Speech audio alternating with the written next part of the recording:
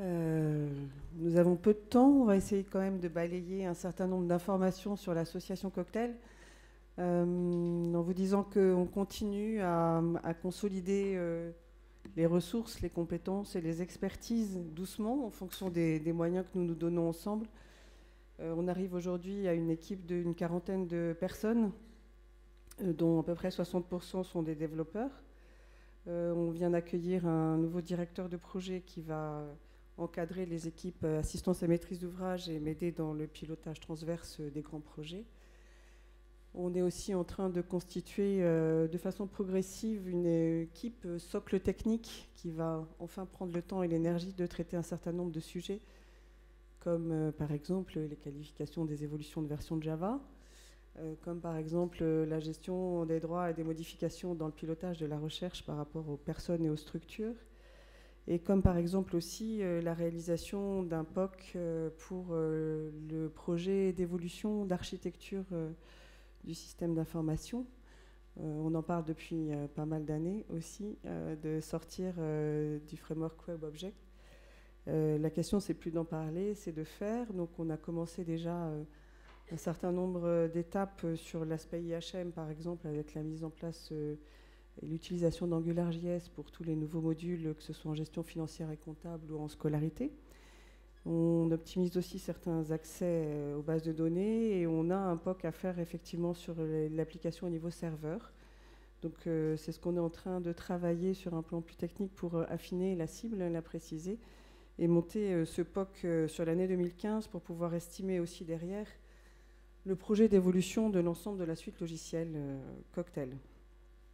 Euh, dans les un peu grands projets dont je vous avais déjà parlé aussi, on avait testé on avait fait un POC sur un outil de cartographie euh, AdWeighty, mais qui ne nous a pas donné satisfaction, notamment sur euh, l'aspect reprise automatique de l'existant, puisqu'on a effectivement une suite logicielle avec un certain nombre de, schémas, de bases de données, de lignes de code. Donc c'était un peu compliqué, donc on a laissé tomber. On verra si on a le temps en deuxième semestre de tester un nouvel outil open source plutôt en vision de modéliser notamment les, processus transverses qui sont toujours les plus délicats euh, dans les systèmes d'information euh, avec un seul référentiel.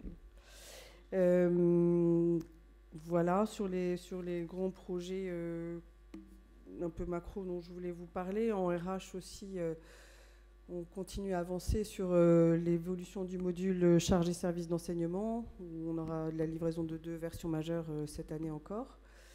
Et on accompagne aussi euh, six nouveaux établissements qui démarrent, les RH, ceux qui nous ont fait euh, travailler de façon constructive, on va dire, sur les notions justement de connecteurs, euh, qui sont pratiquement des outils de migration, parce que c'était des outils qui avant étaient gérés par les établissements, qui se le transmettaient à chaque fois que quelqu'un démarrait. On, avait on a décidé au niveau de l'association de le reprendre en termes de mutualisation pour le mettre à niveau, le réécrire en partie et surtout le faire évoluer en fonction des évolutions de mangue et des évolutions euh, des besoins aussi des nouveaux arrivants. Donc euh, voilà, je crois qu'on a pas mal travaillé sur des problématiques de performance, de durée de migration pour des gros établissements. Euh, merci Nantes, merci Perpignan, et, d'intégrer aussi un certain nombre d'éléments qui n'étaient pas forcément compris dedans. Par exemple, on a aussi pris en compte les besoins d'intégration des retours payes dans CIFAC, donc qui nécessitaient aussi d'embarquer un certain nombre de données sur vos organigrammes budgétaires. Voilà, c'est des exemples d'interopérabilité entre guillemets, mais enfin qui sont euh, gérés au niveau d'interface euh, euh, ponctuelle pour l'instant, mais qui rendent service à ceux qui démarrent. on travaille aussi sur des modules de GPEC, voilà pour la RH en gros. sur la recherche, on, est un petit peu en stand-by entre guillemets aujourd'hui. sur le on a une, vous savez, un module qui permet de piloter la recherche, enfin vu d'une UMR en tout cas, qui permet de gérer les doctorants. Donc pour l'instant, au vu de problématiques d'effectifs, on, on est juste dans la maintenance de ces applis. On attendait aussi les travaux au niveau des groupes de travail nationaux qui ont lieu sur CapLab, GESLab et Dialogue. Donc on fera un point avec euh, la MUL CNRS là-dessus pour euh, essayer de potentialiser aussi la mutualisation au bon niveau, c'est-à-dire euh, tout ce qui peut être besoin et processus. Hein, on se bagarre depuis le début là-dessus travaillons ensemble pour éviter de refaire 36 euh, fois le travail et, potentialisons ça ensemble. Euh, voilà, donc sur les 30 minutes, on se disait qu'on n'avait peut-être pas beaucoup de temps de détailler les choses, donc on voulait vous parler de trois sujets. la GBCP. Nous nos, adhérents nous ont demandé aussi en 2014 de commencer à travailler sur c'est quoi les besoins des communes, finalement d'une façon un peu opérationnelle, de, quoi il y a besoin. Et puis de vous parler de ce qu'on appelle, nous, SVE, c'est scolarité et vie étudiante. Dire un peu où est-ce qu'on en est, ce qui se passe, et puis ben, conformer les propos de Stéphane sur l'avancement de nos travaux en commun. Euh, petit focus GBCP pour euh, rappeler que, voilà, euh, malgré nos demandes depuis près de deux ans, communes avec la CPU, la CDFI et la MU auprès de nos instances et nos tutelles, le démarrage au 1er janvier 2016 est bien confirmé. Donc, ça engage l'association Cocktail, avec bien sûr la demande de ses adhérents, de maintenir le projet tel que prévu. Euh, donc on a mis tout en, place évidemment tout un, ensemble d'instances pour le projet. On a un comité de pilotage projet GBCP tous les mois, des groupes thématiques pour la rédaction des cahiers des charges, des cahiers de tests et les interactions avec la maîtrise d'œuvre ou l'assistance à maîtrise d'ouvrage au fur et à mesure des développements, des groupes de tests, euh, un groupe de bascule euh, sur la migration et un groupe de travail aussi sur les formations SI Cocktail qui démarre au mois de juin. Euh, dans la, pression, euh, la pression du planning, en fait, on a été obligé de lotir euh, la, réalisation des différentes évolutions informatiques, applicatives, puisque ça touche absolument tous les modules de la sphère gestion financière et comptable, et ça a forcément des impacts, nous sommes une suite logicielle, sur les autres sphères fonctionnelles qui utilisent ces modules. donc on, va livrer, enfin le, premier module le module concernant pardon, le, budget et les opérations est terminé. On est en train de le préqualifier pour démarrer les bêta-tests là en juin-juillet pour que les établissements les en production en septembre-octobre puissent euh, démarrer leur euh, budget. Euh, voilà. L'idée sur le LO1, c'est de pouvoir livrer une solution, même tardivement, sur la possibilité des établissements pour préparer et exécuter leur budget en mode de GBCP et en lot 2 courant 2016 de, finir de livrer les évolutions euh, sur les processus métiers qui sont moins critiques et qui pourront se faire au fil de l'eau. Je ne détaille pas forcément les éléments, vous aurez les slides et puis vous avez tous les éléments aussi sur le site Cocktail euh, pour ceux qui sont plus concernés. Ça, c'était juste pour dire, euh, donc dans, ce, dans ce premier module, donc on a des impacts forcément sur le budget opération, sur les dépenses, la recette et la comptabilité avec euh, des, dates euh, à la fois de livraison de bêta-tests euh, de formation. On, va, on organise les formations des formateurs relais en établissement et aux formateurs relais des établissements de former ensuite les équipes, puisqu'on a une soixantaine d'établissements qui utilisent la sphère GFC Cocktail. Et on a évidemment bah, des évolutions à faire ou des reprises de données, c'est évident. Et puis un planning extrêmement tendu, puisqu'on arrive à, en projection aujourd'hui à, livrer euh, ce lot 1 euh, en partie en mi-décembre en, déploiement. Sur les travaux en cours, donc on a, on a travaillé, euh, on était dans les ateliers avec l'AMU pour préparer les formations métiers, les aspects organisationnels, les impacts, etc. Et donc on a pu organiser en parallèle des formations pour les établissements cocktails qui n'étaient pas adhérents à l'AMU. voilà, c'était un exemple de partenariat. On ne l'a pas mis de convention, mais on l'a fait quand même. Euh, et on a bien sûr un certain nombre de, processus pour accompagner ce changement qui est important. On a mis en place ce forum, on travaille sur les supports de formation, on a des fiches modules, des documents, un certain nombre de documents. On a planifié et on est en train, enfin les sessions sont pratiquement pleines aujourd'hui, sur euh, toutes les sessions pour démarrer justement euh, à la fois ces bêta-tests, mais aussi la préparation de l'installation pour pouvoir euh, démarrer votre, euh, les préparations budgétaires euh, en septembre-octobre. voilà, il y a des formations sur Paris, sur Lyon, sur Bordeaux, sur Toulouse. On a aussi une particularité, c'est qu'on a tous les établissements du MAF avec nous, donc il y aura une session particulière pour les établissements dépendants du ministère de l'Agriculture. Et puis on fait des, on s'attache à faire des communications entre guillemets régulières en vous mettant à disposition aussi tous les éléments possibles.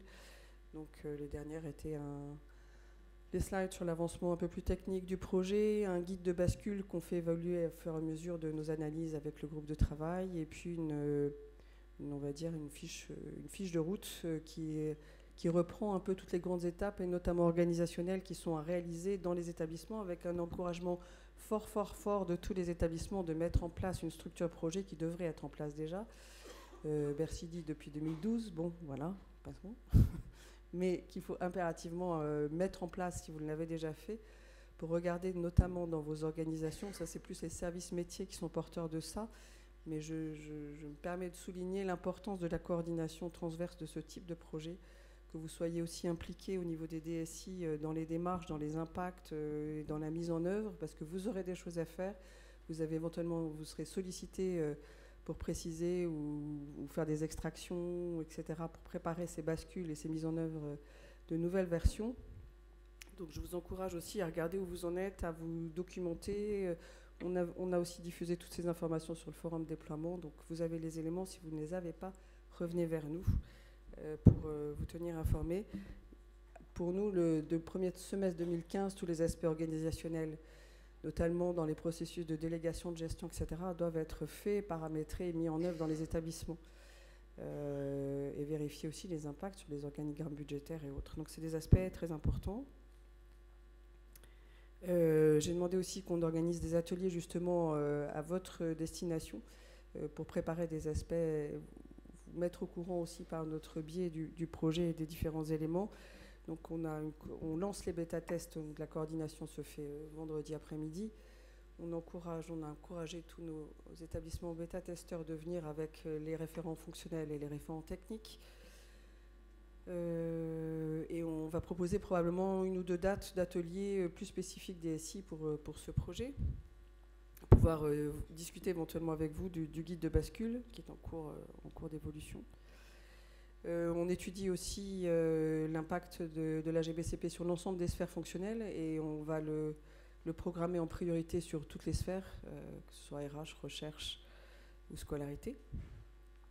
Et on travaille, euh, on a un atelier de travail bah, jeudi matin à Lyon avec certains établissements sur euh, la capitalisation justement des rétro-plannings de mise en œuvre, puisque c'est extrêmement tendu.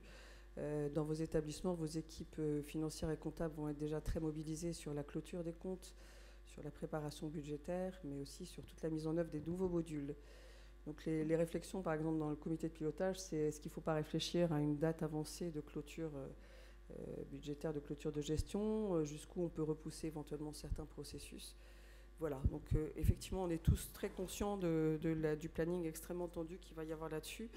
Et en même temps, ça, c'est à rapprocher du risque d'avoir des reporting à faire en mode GBCP sans avoir la traçabilité de vos informations dans votre système d'information. Donc aujourd'hui, on pilote le projet de cette façon-là. On prend en compte effectivement les retours euh, des ministères sur euh, euh, les éléments à reporter pour préparer éventuellement un scénario de backup ou, qui serait disponible pour les établissements qui ne basculeraient pas au 1er janvier. Voilà sur la GBCP qui nous prend beaucoup de temps et d'énergie en ce moment. on, a, on, a, lancé donc ce groupe de travail mi-2014, je crois, euh, qui, se veut juste un mode de, référencement des besoins et d'expression. C'était très ouvert, je vous en avais parlé au dernier XIR, même euh, aux établissements non cocktail. L'AMU doit nous rejoindre au prochain groupe de travail pour partager des informations. C'était ma proposition au dernier Copil Synapse. Donc euh, ce sont des choses un peu basiques, simples, mais importantes. C'est-à-dire qu'une une commune, finalement, a besoin de pouvoir avoir un portail web, euh, a besoin d'avoir un environnement numérique de travail, une carte multiservice au niveau de la commune, euh, un annuaire euh, et pouvoir réaliser des statistiques. vous avez tous besoin de ça dans votre établissement. La problématique, c'est effectivement quelles données est-ce que je dois récupérer dans chaque établissement partenaire de la commune qui me permettrait d'avoir une espèce de on va, dire, on va appeler ça un référentiel fédéré à défaut d'un autre nom aujourd'hui. C'est une base de données qui me permet de remonter les informations justes nécessaires pour ensuite, au niveau de la commune, pouvoir euh, faire ces différents, exécuter ces différents processus. La question, c'est pas de d'avoir un référentiel avec euh, des impératifs euh, de cohérence, etc., mais simplement de récupérer les données, en sachant que chaque établissement est tout à fait maître de son fonctionnement. voilà. Donc la question était d'identifier ces données de les faire remonter et, de pouvoir gérer notamment au niveau d'une commune un, un, identifiant unique. Donc ces données concernent bien sûr tout ce qui concerne les nomenclatures, les structures, les personnels, les étudiants, l'offre de formation et, la recherche avec un certain nombre d'éléments à prendre en compte sur les affectations, les rôles, l'itinérance des étudiants, etc., euh, etc., et les différents projets recherche.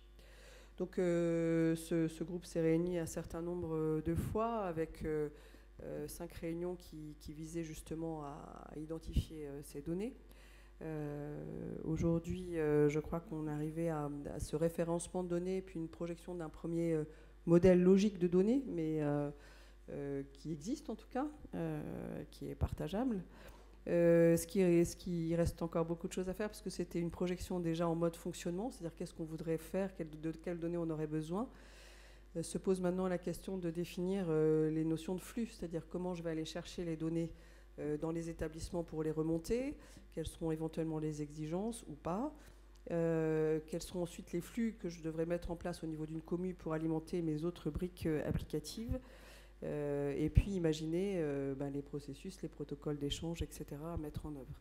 L'idée étant plutôt de démarrer de façon progressive avec euh, le niveau d'exigence minimum nécessaire pour produire quelque chose et avoir des données. C'est complètement agnostique en termes d'outillage. D'accord? Pour l'instant, on est juste en train de définir les données, les processus.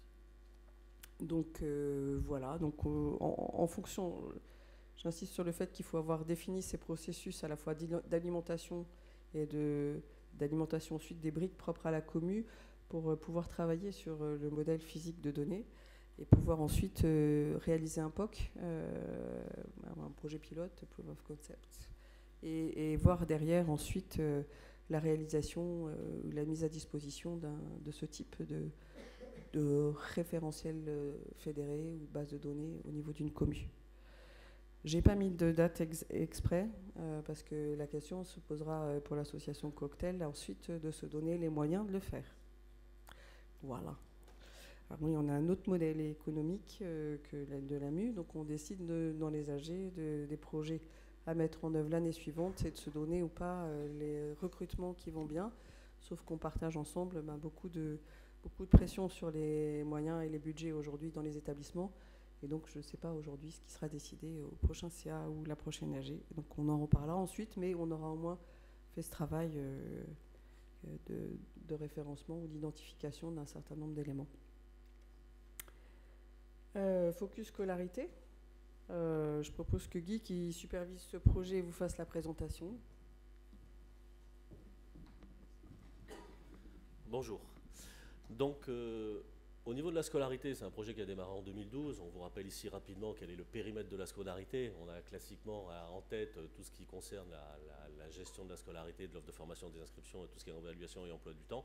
Mais c'est également dans le périmètre qui a été défini dans le cadre de cohérence, tout ce qui concerne les compléments de scolarité, la vie étudiante, hein, qui est un tout nouveau sujet sur lequel euh, qu'on a complètement intégré dans le périmètre de la solution. Euh, à partir de ce qui a été fait dans le cadre de cohérence. Cadre de cohérence qui date de 2013, qui est en train d'être réactualisé et qui sera livré cette année avec le ministère. Donc voilà l'image ou la cartographie de fonctionnel assez simple hein, de ce que l'outil doit permettre à un établissement de faire.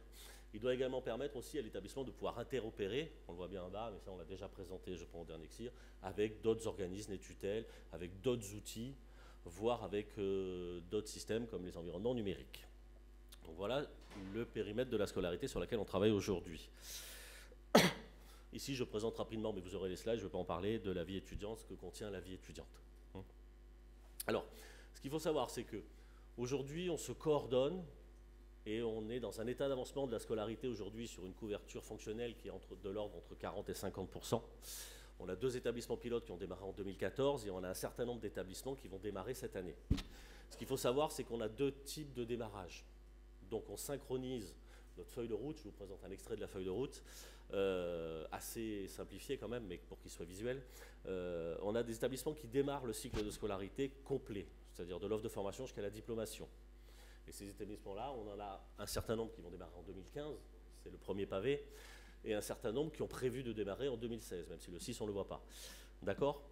Alors, j'ai plus les volumes en tête, mais je crois qu'il y en a à peu près entre 8 et 10 qui démarrent cette année, et entre 15 et 20 qui démarrent en 2016, qui démarrent le processus complet. Ce qu'il faut savoir également, c'est qu'on a aussi des établissements qui veulent démarrer l'offre de formation et uniquement l'offre de formation pour pouvoir, on va dire, utiliser les produits qu'on a mis en place pour construire l'offre de formation et mesurer le coût de l'offre de formation quand on est en train de la construire, donc faire les accréditations. On a deux vagues ici, on a un certain nombre d'établissements de la vague B qui sont intéressés, qui vont démarrer cette année, donc on prépare ces outils-là en leur, fournissant uniquement la BIRIC Girofle qui concerne l'offre de formation, et on est en train d'étudier avec eux et de mettre en œuvre d'ici fin d'année les spécificités ou les compléments qu'ils auraient besoin pour démarrer l'accréditation avec toutes les spécificités qu'on a aujourd'hui sur l'accréditation, mais qui ne sont pas encore totalement complètes. Donc on a un certain nombre d'établissements, deux ou trois à ce jour, hein, qui veulent démarrer sur la vague B l'accréditation, et on aura également des établissements sur la vague C. D'accord? Euh, Je vous mets deux éléments sur lesquels on travaille. Il y a l'offre, euh, la gestion des stages qui va évoluer pour intégrer, qui est un produit qui était antérieur et qu'on réintègre à la nouvelle scolarité et la formation continue.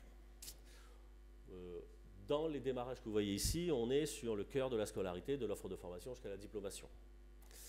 Les compléments de, scolarité, ce qu'on appelle la gestion des stages, la gestion de la formation continue, même si la formation continue est intégrée à l'offre de formation, hein.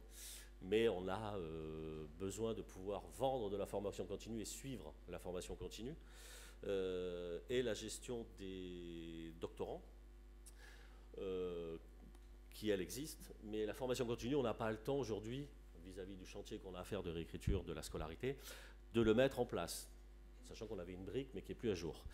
Donc on, les établissements nous ont demandé d'étudier euh, et de voir s'il est possible d'interopérer avec une solution aujourd'hui qui est proposée, FCA Manager. Donc on va lancer dès cet été une étude pour voir si FCA Manager répond aux besoins et de le faire interopérer avec la solution de scolarité aujourd'hui qu'on a redéveloppée. D'accord?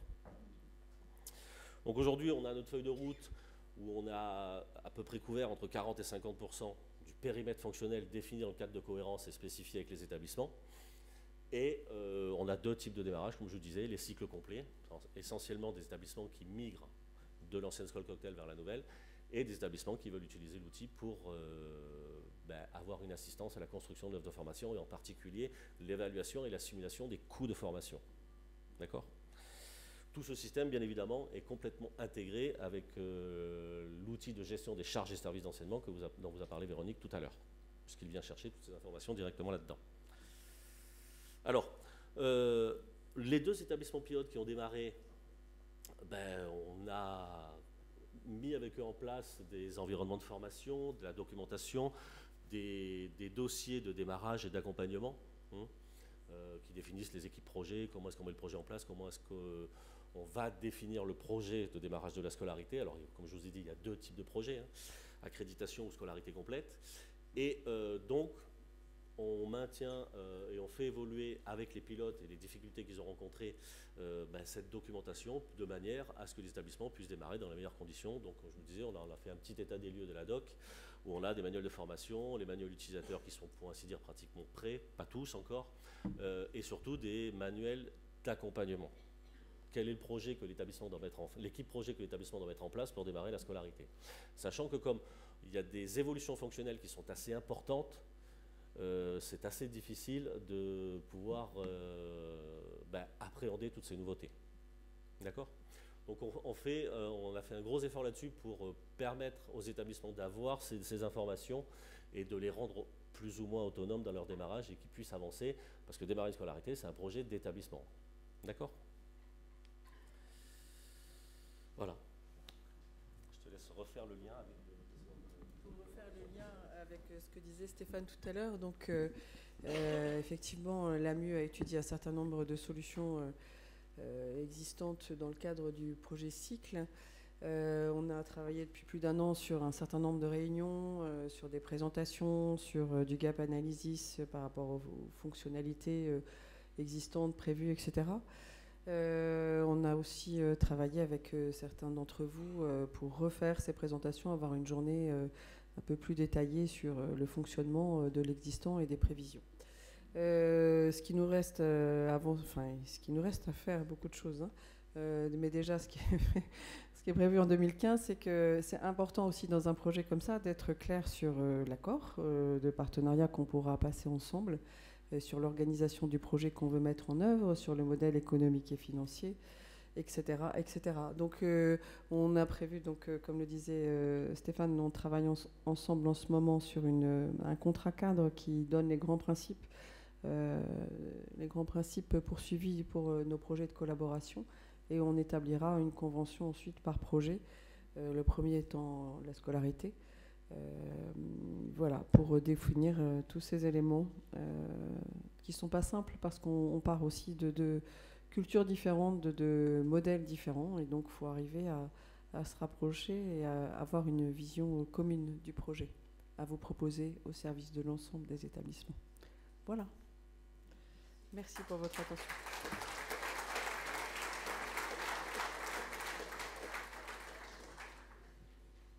Quelques questions?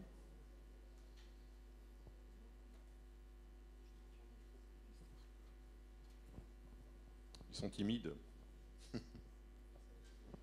Une, petite question pour aider euh, Véronique à préparer son assemblée générale. Et pour que Stéphane ne se sente pas tout seul.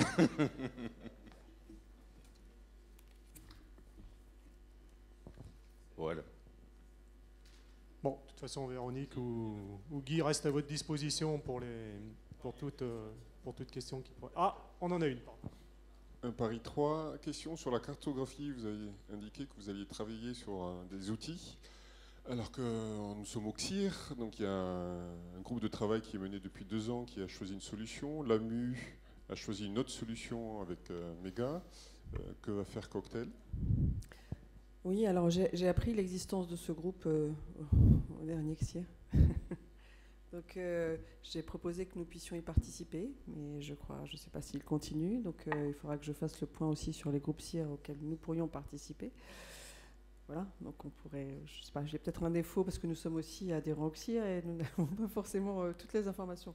On vérifiera les processus de communication, mais où on ne se tient pas suffisamment informé à notre décharge. non, non, du tout. non, non. Euh, donc, euh, on avait mené, sans savoir ce qui se passait là, euh, cette étude et ce projet pilote voilà, de test sur cet outil open source, mais qui ne nous a pas donné satisfaction. Et l'idée est pas. On va se rapprocher aussi de ce qui se passe. On a demandé aussi, par exemple, au niveau du cadre de cohérence scolarité, que les prestataires fournissent des outils ou des processus qui puissent ensuite être pris par n'importe quel outillage.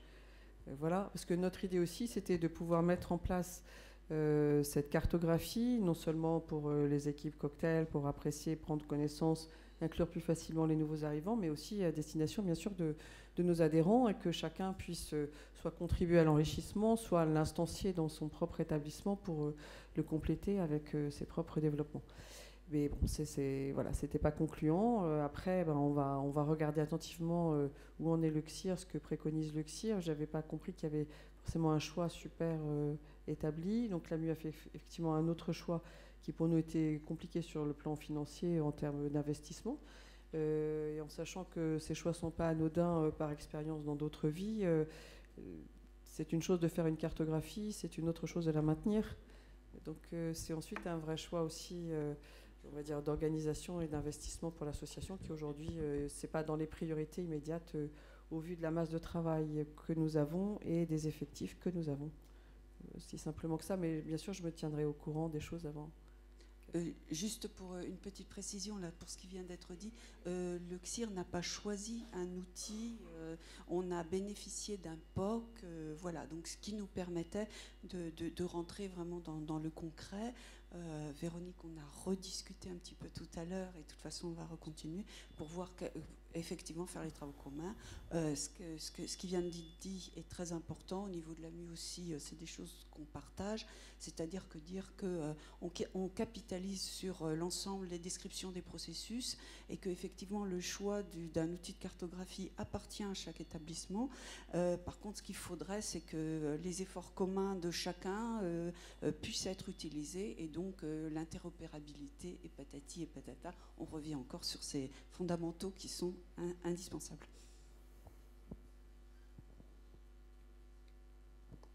Dernière question, avant d'enchaîner. Ok, Montpellier 3. Ne trouvez-vous pas que les travaux que vous menez, de, menez ou que vous conduisez au niveau de, de la commune, hein, ce que vous avez présenté tout à l'heure, ce que tu as présenté tout à l'heure, sont assez proches de la réflexion euh, et des travaux que nous menons sur Synapse? Euh, je, je, je sais pas où, enfin, je ne suis pas dans les travaux Synapse, mais nous avons des informations et l'AMU nous tient au courant. Je sais que vous travaillez sur l'établissement d'un référentiel des individus et des structures pour l'instant. Oui, je parle sur les flux, justement. Voilà. euh, puisqu'on- Et, ça, et notre- ça y ressemble. ça a été ma proposition au dernier copil, justement, de pouvoir euh, rapprocher euh, les différents éléments. Vous conviez à ce groupe de travail. Nous avons le nom d'un interlocuteur et que nous a envoyé le nom d'un interlocuteur que nous allons inviter au prochain groupe de travail. Encore une fois, on fait un travail euh, euh, pour des établissements publics de l'enseignement supérieur et de la recherche.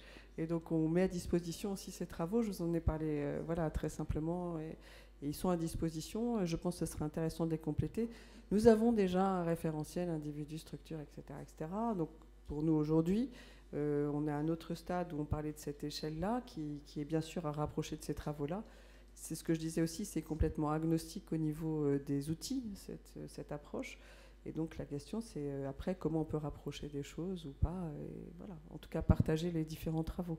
C'est, ça reste dans notre optique de base euh, fonctionnement cocktail.